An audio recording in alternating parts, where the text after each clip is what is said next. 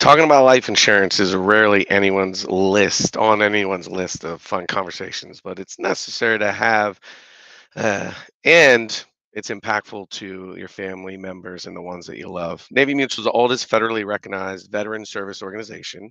We provide counseling and service related benefits granted to active duty, retired, and res- uh, reservists uh, and separated veteran uh, veterans of the armed forces, not to mention their families.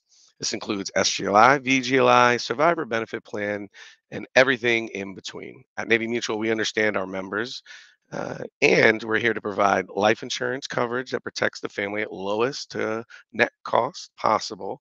As a nonprofit organization founded by military members, we understand that worry uh, and we understand the service uh, concerns with what you do out there. Uh, but we want to make sure that everybody is protected and taken care of on any uh, possible death. So that's why we provide coverage and financial protection for those that serve. Stay tuned and listen and learn how life insurance works and what you need to know when you are searching for that perfect plan that's going to protect your family.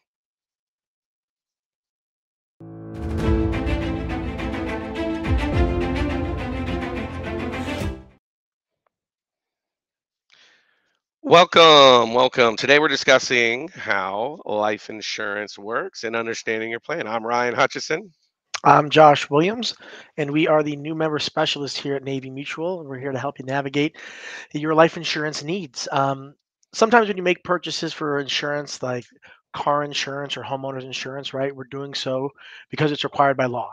Um, with life insurance, though, that's not the case, right? It's something you're choosing to do because you love your family, want to protect your family, and make sure that they have the needs, um, even though you're not there, or the assets, I should say, when you're not there. Um, and a lot of times when we sign up for these types of policies, you know, we don't take the time. There's a lot of pages going on. You don't really know what you're looking for. We don't take the time to sit down and really read through all of the things that we need to to make sure it's exactly what you, you, you thought you were signing up for. So today, that's kind of what we're going to go over. We're going to hit on a couple different key points of the big factors that you want to make sure you're checking out and looking for once you do sign up for that policy. Um, so I'm going to pass it over to Ryan, and uh, he'll take it away. Yes, thank you, Josh. Uh, so yeah, the the first step in all this, because you don't really know what you don't know until you know. Uh, and I know that sounds confusing, but hopefully we'll get a lot of these uh, questions answered. Uh, the first step in your search should be gathering some information, and those are called quotes in the insurance world. There's a lot of different ways to do this. Believe me, in the age of information, you can go on a lot of different websites and get a lot of different quotes. But keep in mind, a quote is just an estimate of what they think that cost will be. Um, and getting an estimate can sometimes give you a little bit of uh, information overload if you try to gather too many quotes. Um, so when you're looking, whether it's through the quote engine, uh, a live person face to face, or you call Navy Mutual uh, or meet somebody out there in the insurance world, you definitely want to make sure you understand that uh, you want them to be able to understand what risk level you are because the estimate is going to depend on a few, a few different factors uh, age, gender, uh, it's going to matter what type of coverage length of coverage. Uh, so there's a few different factors. You want to make sure you're working with somebody that that knows the nuances, uh, not only through the military world but also through the insurance uh, insurance world. Uh, so those factors that play into it, sometimes being in the military, can have a negative effect. Here at Navy Mutual, because we are the country's oldest veteran service organization and, and have a very special federal tax exemption, we can assume more risk than a lot of those other commercial insurers. And that's why we have zero war, terrorism clauses and exclusions on our policies. So whether you're uh, you know, working at a desk or uh, working out there, uh, you know, in a plane cockpit or maybe deployed, can't even tell people what you do. Uh, you're going to be protected no matter where you are in the world with Navy Mutual. Uh, so, you know, normally in the insurance world, higher the risk, more premiums. Uh, with Navy Mutual, we navigate the the military community and uh, you know those those job factors risks aren't taken into consideration uh, and a lot of of what you're going to encounter with us is going to be different. So, first step is get a quote, be educated, ask a lot of questions, make sure they're asking you a lot of questions, and remember if you are working with Navy Mutual, a lot of those factors are, are taken out of the uh, consideration. Now, this is a conversation. This is not supposed to be a lecture.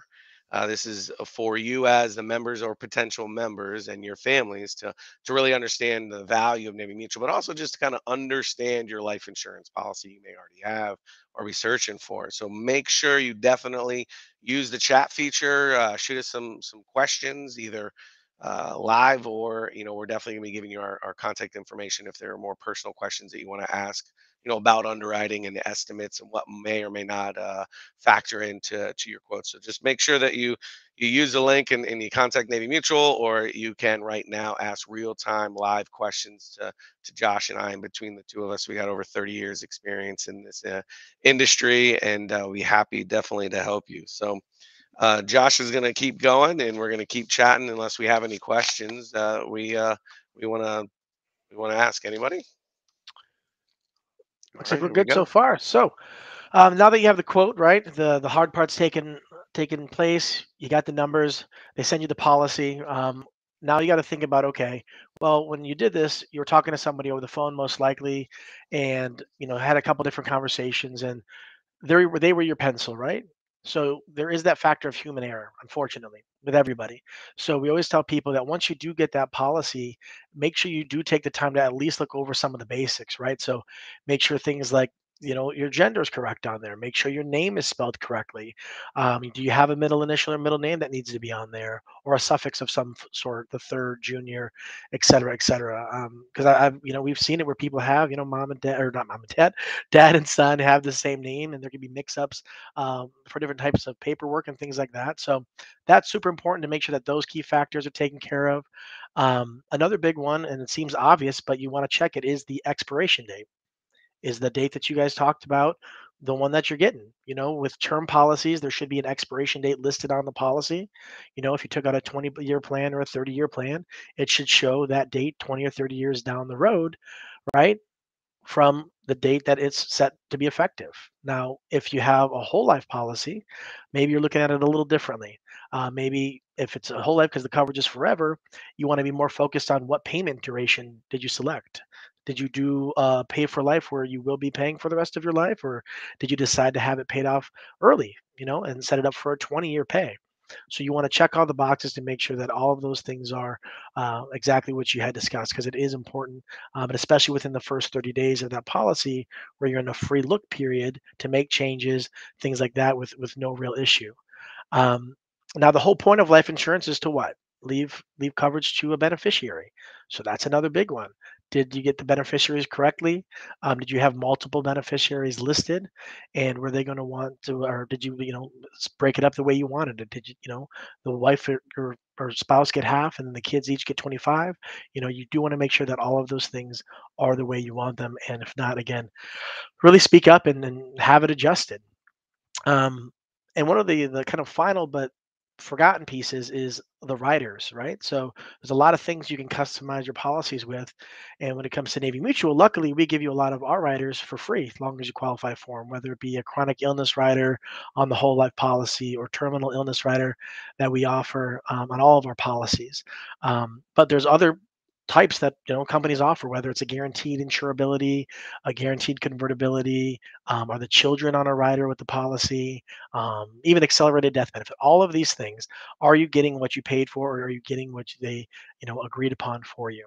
So those are some big factors that you do want to check in and make sure that it's it's listed on there. And again, if not, you need to speak up. You need to say something because it's your family, it's your your coverage that you're that you're playing with at this point. Um, if you are just joining in, again, we're kind of going over how and understanding your life insurance policy. Um, Ryan just went over some of the, the basics of getting a quote. I just capped over some of the data points you want to be looking at. Again, use that chat feature, ask questions, or our information will be at the end as well. Um, if you want to reach out to us directly with some, you know, uh, in-depth questions, rapid, uh, happy to help you out. I'm going to pass it over to Ryan though. He's going to go a little bit more in depth on some of the rider exclusions, things like that. Uh, Ryan, go ahead.